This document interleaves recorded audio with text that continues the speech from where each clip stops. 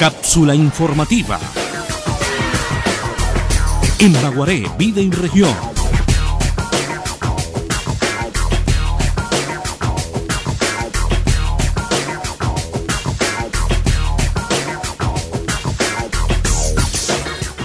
Hoy en y Región estaremos recordando el Día Mundial del Idioma Español. Para hablar del tema, consultamos al especialista y catedrático de la Universidad Surcolombiana y coordinador de Cultura Departamental, el doctor Carlos Iván Gutiérrez Araujo, quien nos estará dando a conocer la importancia de este acontecimiento para nuestra sociedad. Bueno, sí, e, estas fechas eh, se sitúan como, como de gran importancia para todos eh, los colombianos y sin duda para todos los países de habla hispana,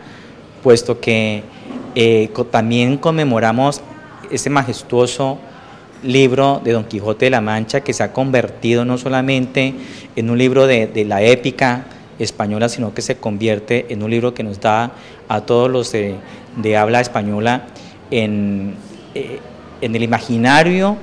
de los vocablos, en el imaginario de un rico vocabulario que, ha demandado a, a, lo largo y ancho de los siglos que llevamos de nuestra existencia como, como país colonizado y como América colonizada por, por España,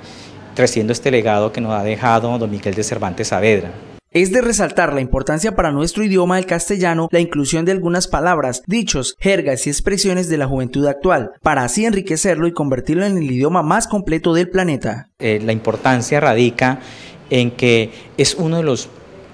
pocos idiomas, lo diría yo como el único idioma o única lengua que que posee un vocabulario extenso,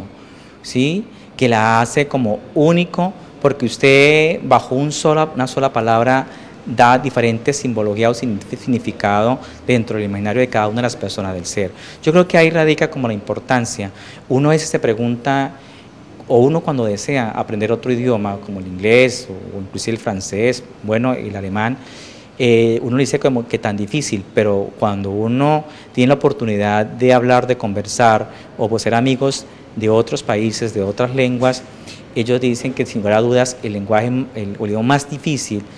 y, y se hace es el español debido a ese vocabulario tan amplio que tiene. Gutiérrez Araujo hace un llamado para que estas fechas tan importantes, históricas y representativas sigan arraigadas y cada día permitan enriquecer nuestra cultura y modo de expresión. Yo pienso que, es una tarea grande que le corresponde a los maestros, que, les corresponde a los padres de familia, que, que le corresponde al amigo, al vecino, que le corresponde a todos los profesionales, sea cual sea el área de la ciencia del saber. Pero invito a, a todos los jóvenes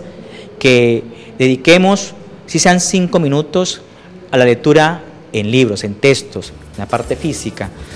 porque inclusive nos ayuda a desarrollar la memoria, la inteligencia, el conocimiento, abrimos nueva frontera, hay una nueva cosmogonía alrededor de la lectura, entonces los invito a que volvamos otra vez al libro, al texto, pero sin, sin, reconocer que debemos ir también avanzando frente a, a, la tecnología que se nos presenta y el libro digital pues será bienvenido, pero invito a que que haga un poquito a esto del libro, a la parte física de la lectura, sea cual sea el gusto que tengamos.